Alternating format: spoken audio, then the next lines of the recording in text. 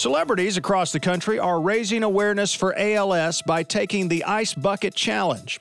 They need to donate money to medical research or publicly dump a pail of frigid water over their heads. now, that's a cause I can support. Governor Romney, you're taking the Ice Bucket Challenge? You bet I am. Here we go. Cheapers, that was mighty unpleasant, but it was worth it. To bring attention to ALS? No, not to have to give away any money. What's ALS?